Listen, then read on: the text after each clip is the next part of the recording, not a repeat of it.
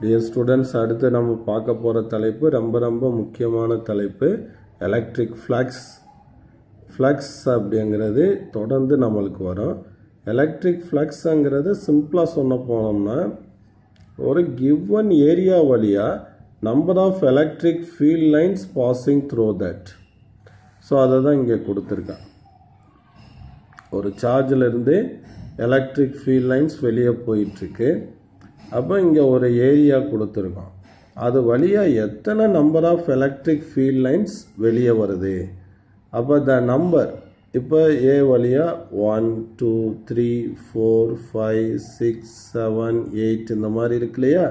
அப்போ number of field lines coming out of the area kept normal to the electric field electric field lines அப்போ electric field லைன்ஸ்க்கு நார்மலாக கொடுக்கும்போது வைக்கும்போது அது வழியாக எத்தனை எலக்ட்ரிக் ஃபீல்ட் லைன்ஸ் வெளியே வருதோ அதுதான் எலக்ட்ரிக் ஃப்ளக்ஸ் அப்படிங்கிறது இந்த ஒரு two mark important two mark இதை வந்து கிரீக் லெட்டர் ஃபைவ் எலக்ட்ரிக் ஃப்ளக்ஸுங்கிறதுனால ஈன்னு சொல்லுவோம். தேர்ட் லெசனில் மேக்னெட்டிக் ஃப்ளக்ஸ்ன்னு வரும். பை பி அப்படின்னு சொல்லுவோம். அண்டு இதனுடைய யூனிட் வந்து இங்கே கொடுத்துருக்கேன். அந்த யூனிட் ஃபார்முலா டெரைவ் பண்ணும்போது உங்களுக்கு ஈஸியாக சொல்கிறேன் இது வந்து ஜஸ்ட் நம்பர் ஆஃப் லைன்ஸ் தான். அப்போ நம்பர் அங்கும்போது அது என்னது வெறும் எண்ணிக்கை. So it is a scalar quantity so it can be positive or நெகட்டிவாக இருக்கலாம். அதாவது ஃபீல் லைன்ஸ் வந்து இப்போ எலக்ட்ரிக் ஃப்ளக்ஸ் ஃபார் பாசிட்டிவ் சார்ஜ்னால் இட் கோயிங் அவுட் இதை பாசிட்டிவ் ஃப்ளக்ஸ் சம்பவம். நெகட்டிவ் சார்ஜ்னா என்ன படிச்சிருக்கோம்? Lines field lines towards the சார்ஜாக வரும். அதை வந்து நெகட்டிவ் ஃப்ளக்ஸாக நம்ம சொல்லுவோம். இப்போ அதெல்லாம் நம்ம இங்கே பார்க்க போகிறோம் இப்போ இந்த எக்ஸ்பிளனேஷனில் so consider a charge located at the centre positive charge அப்போ இதிலிருந்து two areas A and B both are equal area தான். ஏ ஏங்கிற equal area are placed one is close to charge another one is far from charge. Above more number of lines passing through the A and less number of lines passing through B. So here at A the electric flux is more strong than B. So we again confirm that. So when distance increase from the charge the electric field strength decreases சார்ஜிலேருந்து நம்ம தூரமாக போக போக போக ஃபீல்டோட strength குறைஞ்சிக்கிட்டே போகும். So ஏ பக்கமாக இருக்கிறதுனால அங்கே ஃப்ளக்ஸ் அதிகமாக இருக்குது அப்போ ஃபீல்டு அதிகமாக இருக்குது பி தூரமாக இருக்கிறதுனால அங்கே ஃபீல்டு கம்மியாக இருக்குது ஸோ அங்கே ஃப்ளக்ஸ் கம்மியாக இருக்குது அப்படிங்கிறது இந்த லைன்ஸில் கொடுத்துருக்கான். Electric field strength for a point charge decreases as the distance increases then for a point charge electric flux also decreases as the distance increases அப்படிங்கிறத கொடுத்துருக்கான். ஸோ மொதல் பாயிண்டில் பார்த்தோன்னா இந்த ஃபீல்டு லைன்ஸ்க்கு பர்பண்டிகுலராக நம்ம ஏரியாவை வச்சுருக்கோம். அப்போ மோஸ்ட்லி எல்லா லைன்ஸும் அது வழியாக நம்மளுக்கு பாஸ் ஆகும். அப்போ ஃப்ளக்ஸ் இ இ இன்ட்டு ஏ இதுதான் ஃபார்முலா செகண்ட் படத்தில் பார்த்தீங்கன்னா the area is placed parallel to the field lines field லைன்ஸ்க்கு பேரலாக இருக்கும்போது no lines passing through this area அப்போ ஏரியா வழியாக எந்த ஒரு லைனும் பாஸ் ஆகாது.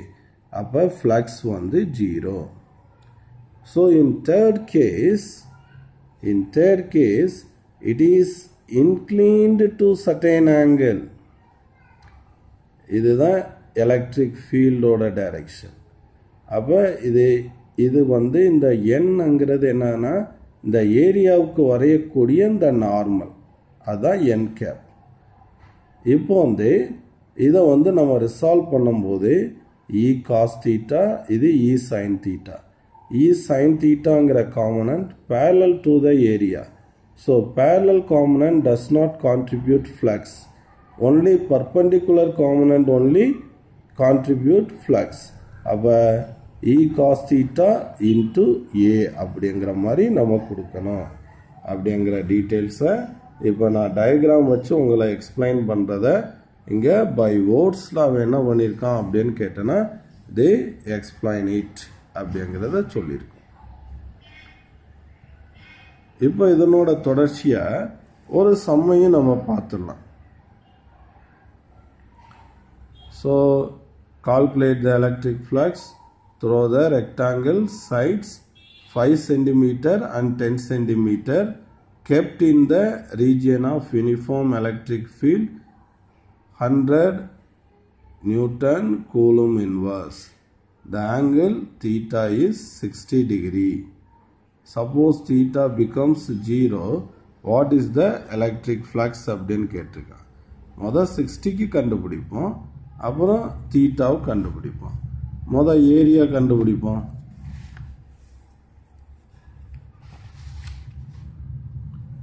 அப்போ எக்ஸாம்பிள் ஒன் பாயிண்ட் ஒன் செவனா அப்போ given that the area rectangular அப்போ ரெக்டாங்கிள்னா breadth into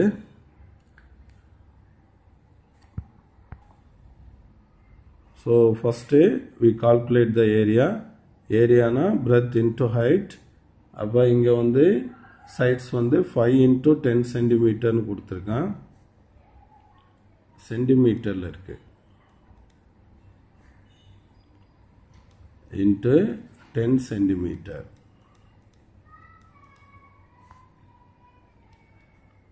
அப்போ மல்டிப்ளை பண்ணோம்னா இங்கே பவர் ஒன்றுன்னு போட்டுக்கோ இல்லாட்டி சிம்பிளாக ஃபிஃப்டீனே போட்டுக்கோ. இதை ரெண்டையும் மல்டிப்ளை பண்ணி இதை ரெண்டையும் மல்டிப்ளை பண்ணி டென் பவர் மைனஸ் ஃபோர்னு போட்டோன்னா மீட்டர் ஸ்கொயர் ஆயிரும். அடுத்து என்ன கொடுத்துருக்கான்? எலக்ட்ரிக் ஃபீல்டு ஒரு ஹண்ட்ரட்னு கொடுத்துருக்கான். அப்போ electric field hundred newton coulomb inverse so இங்கே கேஸ் ஒனில் வந்து theta equal to sixty degree அப்போ இங்கே சம் இன்க்ளினேஷன் சாஞ்சிருக்கு. அப்போ இன்க்ளினேஷன் சாஞ்சிருக்குன்னா இந்த ஃபார்முலாவை நீ யூஸ் பண்ணேன் அப்போ electric flux equal to E cos theta A அப்போ இ காஸ் தீட்டா ஏ அப்படிங்கிறது நம்மளுக்கு வரும். இதுதான் ஜென்ரலாக ஃபார்முலாவே இது ஆர்டராக இந்த மாதிரி மனப்பாடம் பண்ணிக்கணும். இ ஏ காஸ் தீட்டா அப்போ இ e வந்து ஒரு ஹண்ட்ரட் ஏ வந்து ஒரு fifty into ten power minus four cos sixty degree அப்போ இங்கே வந்து இதை பே சுருக்கிட்டு போயிடலாம். இது டென் பவர் ப்ளஸ் டூ அப்போ இங்கே டென் பவர் மைனஸ் டூ வந்துடும். ஸோ காஸ் சிக்ஸ்டி காஸ் சிக்ஸ்டின்னா அவ்வளோவே one by two one by two இதை கேன்சல் பண்ணால் உனக்கு twenty five twenty five into ten power minus two அப்போ டுவெண்ட்டி ஃபைவ் எப்படி எழுதுவீங்க? பாயிண்ட் டூ ஃபைவ் ஸோ ஃப்ளக்ஸ்க்கு யூனிட் என்ன? E ஈனா என்னது? நியூட்டன் கூலும் இன்வர்ஸ் ஏனா என்னது? மீட்டர் ஸ்கொயர் அப்போ newton metre square coulomb inverse அடுத்த செகண்ட் கேஸில் suppose theta becomes zero what is the electric ஃப்ளக்ஸ்ன்னு கேட்குறான். அப்போ theta becomes zero electric flux equal to E A cos zero degree cos zero ஒன்று E வந்து ஒரு hundred A வந்து fifty into ten power minus four அப்போ வந்து 50 into 10 power minus 2 so you got 0.5 okay students